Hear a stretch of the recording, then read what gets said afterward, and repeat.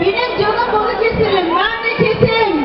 Hiç vazgeçmediğim, doğduğum, büyüdüğüm şehir. İnşallah Rabbim bu mübarek gecede, bu güzel gecede, bu kutlu yürüyüşte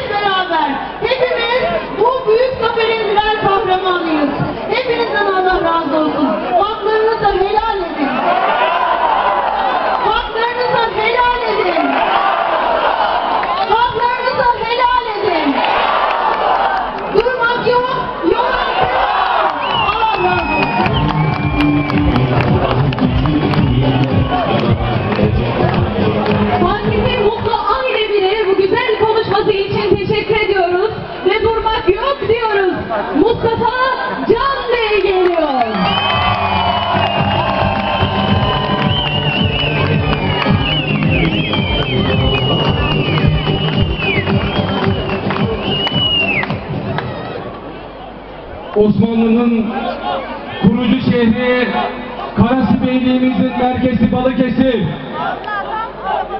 Kuvayi Milliye şehri Balıkesir. Zaferin mübarek olsun. Ne güzel şahlanıyorsun.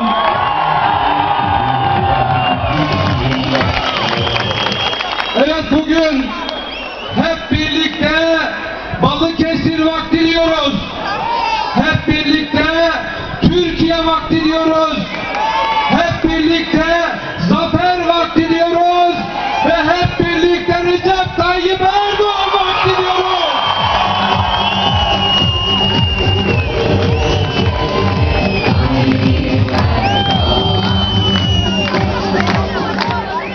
Benim güzel şehrim Balıkesir. Hep birlikte durmak yok, yola devam diyoruz. Hep birlikte durmak yok, yola devam diyoruz.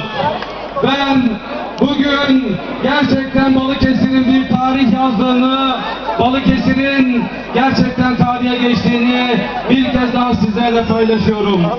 Evet, Türkiye kararını verdi. Balıkesir kararını verdi. Balıkesir seçimini yaptı. Türkiye seçimini yaptı. Milletimizle yürüyüşümüz tazelendi. Kardeşliğimiz yeniden güç kazandı. İnşallah bundan sonra bu güzel şehir bize büyük bir sorumluluk verdi. İnşallah bu sorumluluğu yerine getirmek için gecemizi gündüzümüze katarak sizler için sizler için mücadele edeceğiz. Şehrimizin ufkunu genişletmek için çalışacağız. Büyük yatırımların, önemli yatırımların şehrimize gelmesi için çalışacağız. Ama şunu söylemek istiyorum.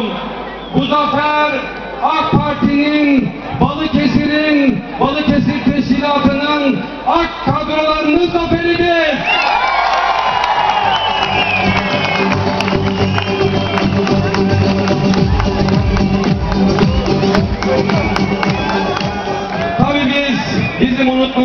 gereken, unutmamız gereken liderimiz var. Bizleri destekleyen, Balıkesir'e ikinci büyük mitingini yapan Cumhurbaşkanımız, liderimiz, davamızın lideri, milletin adamı Sayın Recep Tayyip Erdoğan'a ve yine yine AK Parti teşkilatlarının başkanı, il başkanımıza, Büyükşehir Belediye Başkanımıza, ilçe ilçe başkanlarımıza, ilçe belediye başkanlarımıza, kadın kollarımıza, gençlik kollarımıza ve AK